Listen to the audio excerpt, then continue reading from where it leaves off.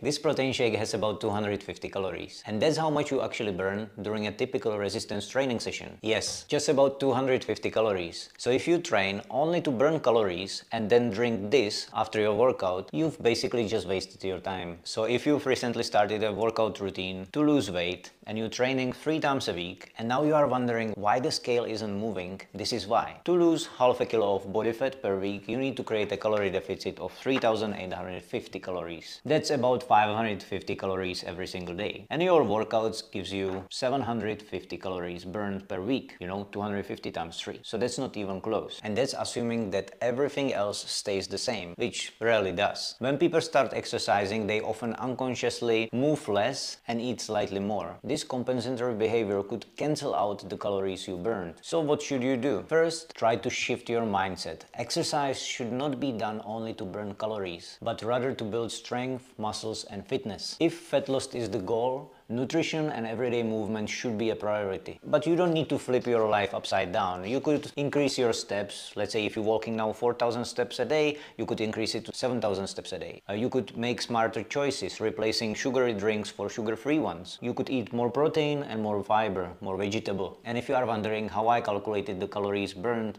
during a training session, follow me because I will explain it tomorrow.